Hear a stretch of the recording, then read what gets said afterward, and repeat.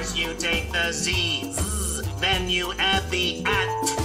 Put them all together. Now you've got that.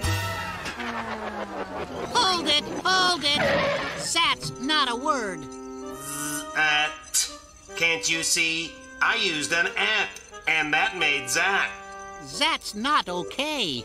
Not okay? Why, I say, Some letters make at words and others do not. And only real words make it into the dictionary. That's right, Leap. That's how we build words for the dictionary. And we're just getting started.